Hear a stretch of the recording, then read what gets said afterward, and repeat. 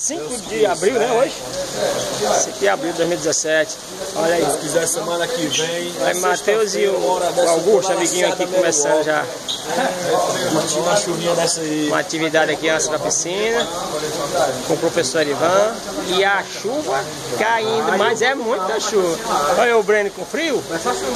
Júnior, seu, seu Cordeiro, seu Cordeiro, do Matheus. Tem que lembrar a historinha do Matheus Pai para lembrar dos nomes, e aí dá certo. Aqui é o, é o Berger, é o cantor.